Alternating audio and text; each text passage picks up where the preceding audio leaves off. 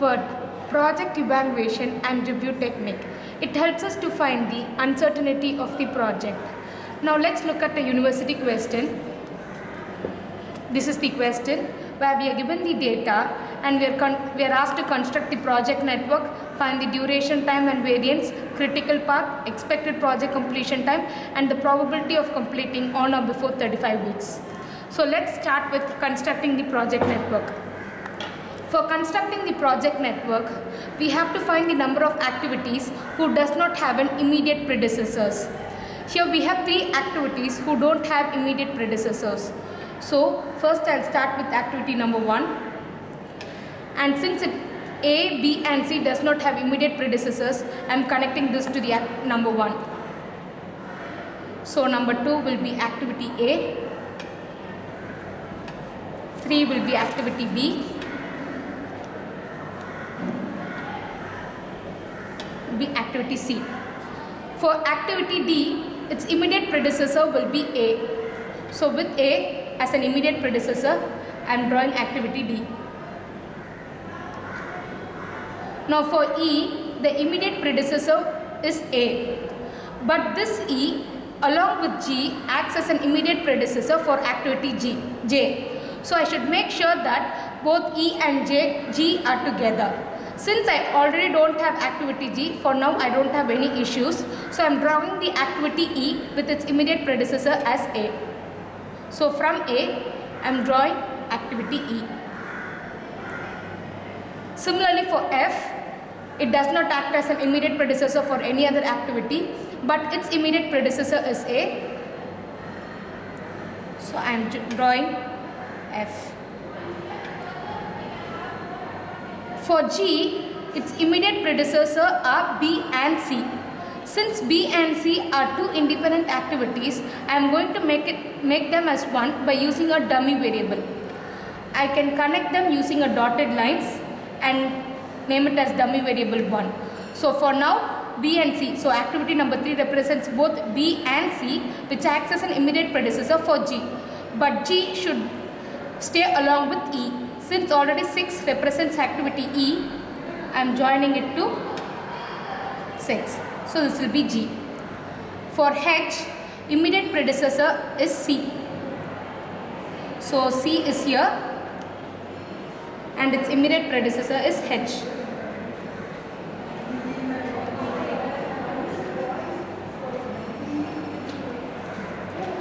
And for D will be the immediate predecessor for activity I.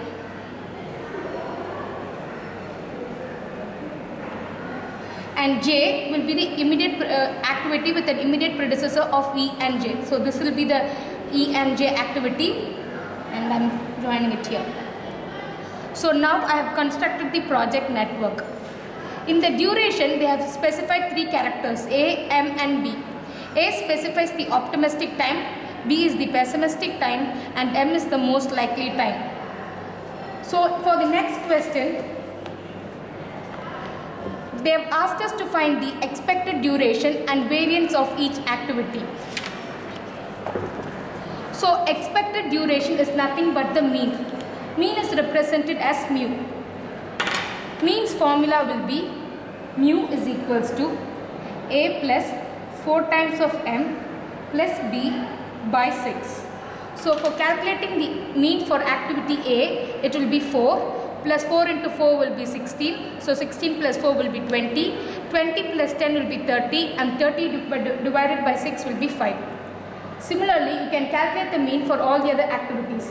It is 3, 6, 4, 2, 5, 3, 4, 3 and 7. Now going to the variance which is the variance of each activity that is nothing but sigma square. Its formula is b minus a by 6 the whole square. Here b is the pessimistic time and a is the optimistic time. Now for calculating the variance for activity A it will be 10 minus 4 will be 6. 6 divided by 6 is 1. 1 square is 1. Similarly calculate the variance for all the other activities which is 1.78, 4, 1.11, 1.78, 1.78, 0, 1 and 0.11. So now I have calculated the expected duration and variance of each activity. Now let's go to the third question. It is used to find the critical path. Now for finding the critical path, we need two components, earliest start time and latest completion time. Earliest start time formula will be maximum of so first I am going to calculate the earliest start time of one activity which I am representing it as j. So it will be the maximum of earliest start time of the previous activity plus distance between these two activities i and j. Similarly, latest completion time of the activity j will be minimum of latest completion time of the previous activity minus its distances between the two activities. So dij. So before calculating the uh, earliest start time and latest completion time, I have to specify the distance between two activities. That will be nothing but the mean which I have calculated. So for activity A, mean is 5. So I am specifying it as here as 5. For B, it is 3. For C, it is 6. For D, it is 4. For E, it is 2. For F, it is 5 for G it is 3. For H it is 4. For I it is 3. And for J it is 7. So to calculate the earliest start time and latest completion time I am drawing a box for each activity.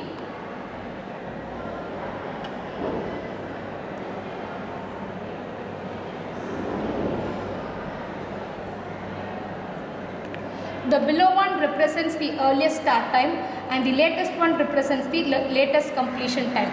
Since initially we don't have any activities prior to this, I am initializing it both to 0. Now let's start with calculating the earliest start time. For earliest start time for activity number 2 will be like earliest start time of the prior one i which is 0 plus the distance. So this is the distance 5. So 5 plus 0 will be 5. Since here we have B and C as represented as one activity, we should take the maximum of those two. The maximum should be represented. For B it will be 3 plus 0, 3. But for C it is 6 plus 0, 6. Since 6 is the highest, then since 6 is greater than 3, I am representing both the earliest start time as 6. Since it is connected by a, dummy variable D1. Now going with D, for D, it's 5, 4 plus 5, it is 9. For 6, it has two activities coming to it, from 2 and from 3. We have to calculate both these things and we have to find the greater value. This will be 5 plus 7. 5 plus 2 will be 7 and 6 plus 3 will be 9. Since 6 plus 3 is greater, I am representing it here as 9. For 7, we are, it has numbers coming from 3 numbers, 2, 6 and 5. So 5 plus 5 will be 10, 7 plus 9 will be 16 and 9 plus 3 will be 12. 7 plus 9 is greater so I am representing here as 16. So this is the last activity. So I am initializing my latest completion time as the earliest start one. Earliest start time and the latest completion time of the last activity will be both will be same. Now after completing number 7 again I have to go to activity number 6 for calculating its latest completion time. It will be the minimum value and subtract subtracting of the latest completion time minus its distance. So for activity number 6, it points out only to one activity. So 7 minus 16 will be nothing but 9. For, for fifth activity, it has on pointing to only one activity that is 7. So we have the 16 and 3. 16 minus 3 will be 13. Pointing into the 4 now. 4 minus 16 will be 4 minus 16 will be 12. Similarly, since B and D already have a same together, B already points out to 9 minus 3, 6. Since the minimum value is 6 compared to, compared to this 12, I am representing both as 6. Because we have to find only the minimum value for the latest completion time. And going for the second one, since second one points to 3 activities, 5, 6 and 7, I have to calculate all the 3 all the 3 and find out the minimum value. 13 minus 4 will be 9 and 2 minus 9 will be 7 and 5 minus 16 will be 11. So the minimum value will be 7. So I am pointing out here as 7. So I have calculated the latest completion time and the earliest start time for all the activities. Now the critical path will be formed where the latest start time and the earliest completion time will be equal. Here starting with activity number 1, then we have pointing to four, number 4, 0066. So this is equal. Then these two are equal. Then after activity number 3 to 6, this is equal. Then 6 to 7 because 9, 9 and 16, 16, this is equal. So my critical path will be C, D1 that will be dummy variable 1, G and J. This will be the critical path. Now we have to complete the, now we have to calculate the expected project completion time. Expected project completion time will be nothing but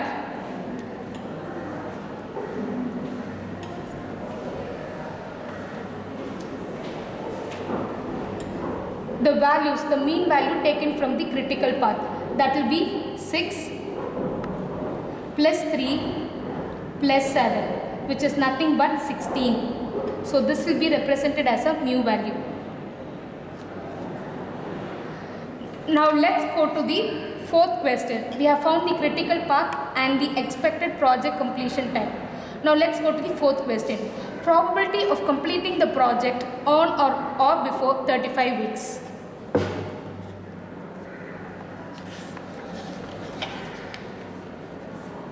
So for calculating the uh, probability value, the formula will be probability of x minus mu by sigma which is less than or equal to 35. So this is nothing but z. So probability of z less than or equal to 35. Now we have to find all these variables x, mu and sigma. x is nothing but this 35. Mu, sigma we have to calculate and mu is the value which we have already calculated. That is 16. So mu is 16. Now we have to find the value for sigma. Sigma will be nothing but 4 plus 1.78 plus 0.11 sigma square. This will be nothing but 5.89. I got all these values from the critical path. Since my critical path is C, G and J, from C it is 4, from G it is 1.78 and from J it is 0.11. I have taken all those values. That is nothing but the sum of the variance of the critical activities.